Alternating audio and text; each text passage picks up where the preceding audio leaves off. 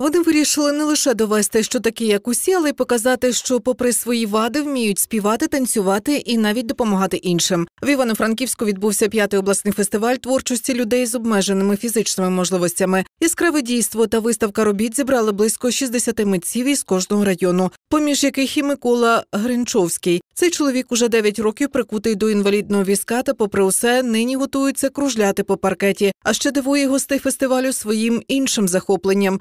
Власноруч із картону він створює дивовижні макети церков. Роблю церкву і думаю, все, все роблю інакший макет. І думаю, як воно мені вийде. Мені просто дуже є великий інтерес. Я вже дуже багато робіт зробив.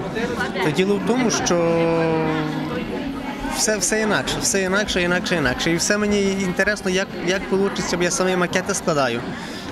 І вже взяли в мене два макети, взяли вже, щоб такі церкви строять. У Львівській області церкву одну строять, і у Полтавській області одну церкву вже строять. Йому снилося, що він готовий, що він робить церкву.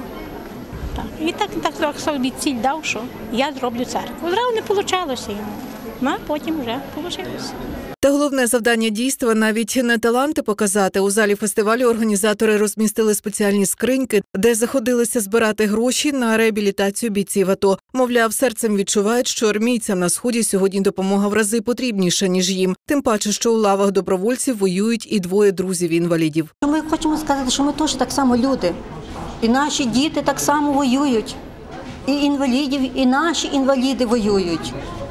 У нас є інваліди, які приймають участь в АТО. Так, з обмеженими можливостями. І вони поїхали воювати. Усі зібрані гроші обіцяють організатори фесту одразу ж передадуть на спеціальні рахунки, а учасників дійства відзначать дипломами. Кращі ж таланти 2 грудня поїдуть до столиці захищати честь області на всеукраїнському фестивалі.